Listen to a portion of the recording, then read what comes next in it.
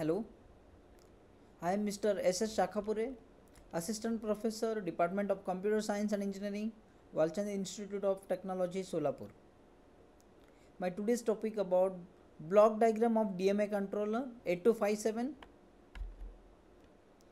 my learning outcome at the end of this session to understand concept of direct memory access controller and how to initiate and DMA cycle and their use in a microprocessor based system. Now, what is DMA? DMA stands for Direct Memory Access. It is designed by Intel to transfer data at the fastest rate and it allows devices to transfer the data directly to from memory without any interference of the CPU. So in some in short we can say here once we got any permission from the processor so without the interference of the processor we directly can able to transfer our data from memory or to memory. It operates in two modes that is master mode and slave mode. How DMA operations are performed. So following is the sequence of operations performed by DMA. Initially, when any device has to send data between the device and the memory, the device has to send DMA request to DMA controller. So it's a DRQ request. The DMA controller sends hold request to the CPU and waits for the CPU to assert the DLA, HLDA. So here the controller now sends hold request to the processor and waits to get the acknowledgement from CPU that is called HLDA. Then the processor tries to all the data bus, address bus and control bus. The CPU leaves the control over bus and acknowledges the hold request through HLDA signal. Here processor if wants leaves the control over the bus and it acknowledges to hold request that is HLDA signal. Now the CPU is in hold state and the DMA controller has to manage the operation over buses between the CPU, memory and IO devices. Now here you can able to see the block diagram of 8257. So my internal data bus divides two parts to my 8257. So my right side is have different functional blocks. These functional blocks are nothing but DMA channels and my right side I have the different functional blocks. They are control and mode set register, read write logic and data bus buffer. Okay, about the block diagram Intel 8257 is a programmable 4 channel direct memory access controller that is 4 peripheral devices can request data transfer at any instant. Each channel has two signals one is a request signal and another is a request acknowledge. Okay, is nothing but DMA request and DMA acknowledgement. The request priorities are decided internally and there are also 8 bit registers. One is the mode set register and another is status register. It can operate both in slave and master mode. The functional block diagram consists of different functional blocks. Data bus buffer read write logic dma channels control logic priority resolver. So one by one now let us check exactly about these functional block the very first one is the data bus buffer. This is a three state bidirectional 8 bit buffer interface the 8257 to the system data bus.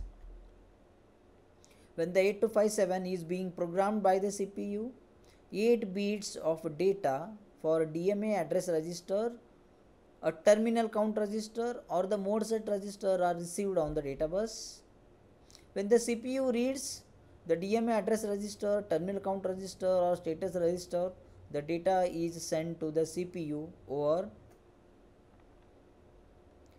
The functional block diagram next consisting read write control logic. In the slave mode, when the CPU reads data from or writes data to the 8257, the read write logic accepts the IOR or IOW signals and decodes the least significant first 4 bit address bits. And during DMA cycle, when 8257 in is in the master, the read write logic generates the IO read and memory write or IO write and memory read signals which controls the data link with the peripherals that has been granted cycle. The next functional block consists of DMA channels. The 8257 has four separate DMA channels.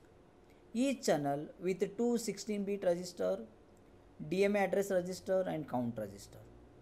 And both these registers must be initialized before a channel is enabled.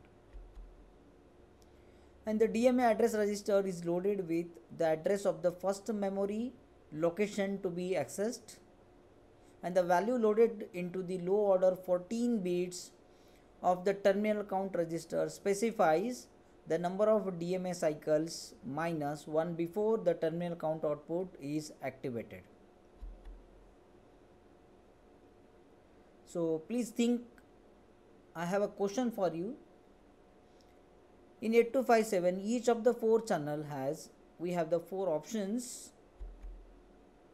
a pair of two 8 bit registers, a pair of two 16 bit registers, one 16 bit register, d1 8 bit registers. Please think on this question. We have discussed already about this question.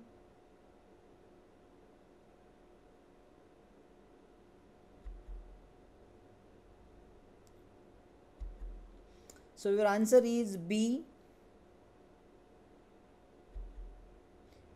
The DMA supports 4 channel and each of the channel has a pair of two 16-bit registers namely DMA address register and a terminal count register. Okay. Now my next functional block is control logic block.